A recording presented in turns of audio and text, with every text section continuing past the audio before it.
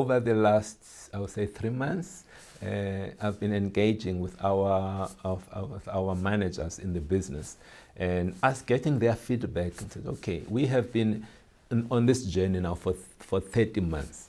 Uh, so what do you feel about you know, our strategy? Is it working? What is it that we need to improve? You know, I was trying to get that feedback. The, one of the things that they came up with said, we are so excited about the five-year plan and we know we are going to make it, but what's happening beyond the five years? We'd like to know because, and to me that was very interesting coming from them because it's, what it says that you've got people that are invested in the future of the company.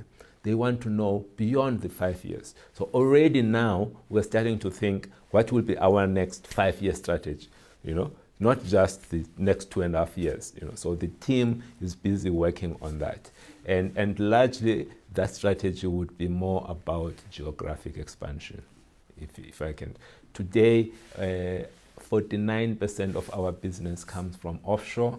I think tomorrow, uh, that may be 70% of our business coming offshore, you know, and how we execute on that, the countries that we choose to go and operate in, and, that's, that's the growth, the next phase of our growth. The biggest achievement uh, in the three years, almost three years that I've been here, uh, is, is really to give our employees a sense of direction, you know, knowing where the company is going, and, and creating a, a, an environment for them where they, they are excited to come to work. And, and that to me is probably the, the most biggest important thing. But linked to that is if you look at then how now they start to service uh, our customers, uh, the improvement, significant improvement in customer satisfaction, that's very important.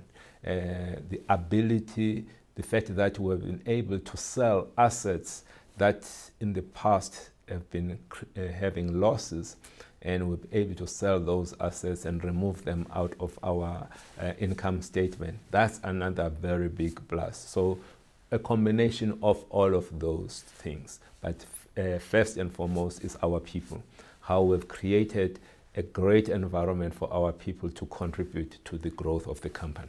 When I look at our purpose, the purpose that we have is say delivering innovation that matters. That is our mission. Uh, so innovation is something that is like at the core of who we are.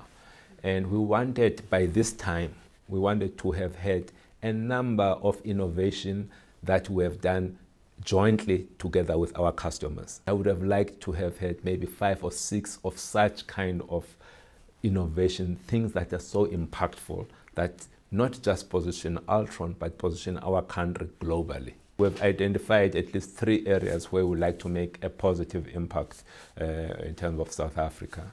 One is in the safety and security. You know, we do know that our country has got challenges when it comes to crime. You know, so coming up with solutions that tackle that is something that I'm excited about. There's something in the pipeline there. You know? uh, there's something, of course, in the pipeline on the healthcare management.